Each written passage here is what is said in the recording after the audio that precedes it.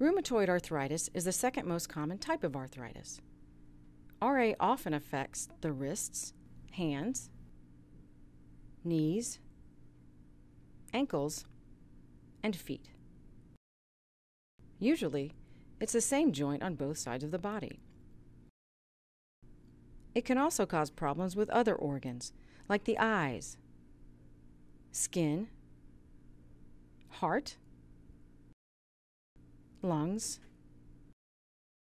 kidneys, nervous system, and digestive tract. When you have RA, your immune system attacks your body, especially your joints, by mistake. It's called an autoimmune disorder.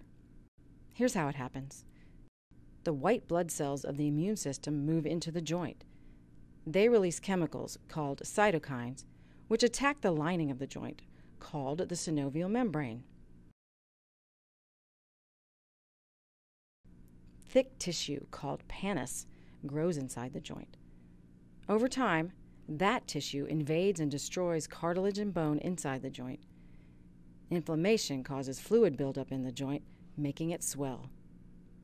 Eventually, the damage makes it hard to move the joint.